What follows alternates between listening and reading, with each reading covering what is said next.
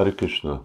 Uh, Asta-sakhi is asking uh, about the brahmanas, uh, the sacrificial brahmins, who first obstructed their wives from going to meet Krishna, but then later really regretted their conduct, their behavior, and recognized that their wives were actually spiritual superior to them. Did they get the chance to meet Krishna? No. Uh, maybe they would have had the chance, but the fact is they didn't. And and why they didn't is very important, as with everything in the Bhagavatam, is very important and very relevant to our spiritual development. Uh, the reason uh, that uh, they didn't take the opportunity is they were afraid. They were afraid what would Kamsa think, because ultimately they were Brahmins, so they were being maintained uh, by the king. Uh, their village was on the outskirts of uh, Vrindavan, and they probably did all kinds of ritualistic things in Mathura as well. And uh, they were concerned if we ally with Krishna, if we're heard or seen uh, to mix with Krishna, then that won't be very good for us. So they didn't go. And so they weren't surrendered. Uh, and therefore they remained Brahmins who, all right, Krishna is the Supreme Personality of Godhead who just happened to have appeared next door, but anyway, uh, that's that's another issue. Got nothing to do with us.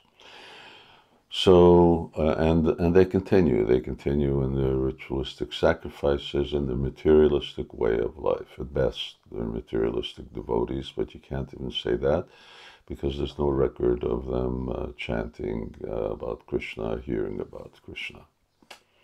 Uh, the relevance to us is that to become a devotee, like the gopis, like the brahmanis, we have to ally with Krishna, and that will mean, not may mean, but it will mean uh, that we are we are no longer uh, part of the society that uh, we live in. We're not integrated into society, but rather we're an alternate uh, society, a Krishna conscious society, a Varnashram society. And uh, the result of that is, uh, is that people are going to think, why these people dress so strange? Uh, why do they chant these weird mantras? What about these weird statues uh, that they worship? they'll criticize our way of life.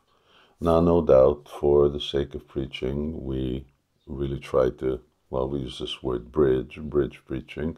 Uh, we try to reach out to them a certain way, but in terms of our principles, our standards, we're very fixed. And even in terms of how much we're willing to go on the bridge, uh, that's also limited. Uh, so at a certain point, we say no, we, we stop. Uh, and what's the consequences? Well, who knows? We just depend on Krishna. and for us, Krishna is number one. And he's, he's everything. He's our life. He's our way of conduct. He's our worship. Uh, and what pleases Krishna is what's important to us, not other uh, materialistic considerations. So an important point, uh, something that's certainly very relevant. We find ourselves uh, uh like the bridge Brijbasis. They were a minority in a, a world uh, surrounded by demons who are antagonistic towards the kind of beliefs that they practice, but they never sacrificed them. Uh, they never for one moment uh, gave up Krishna as the cynosure of all of their activities. And that's one thing that we can learn uh, from this particular pastime. Hare Krishna.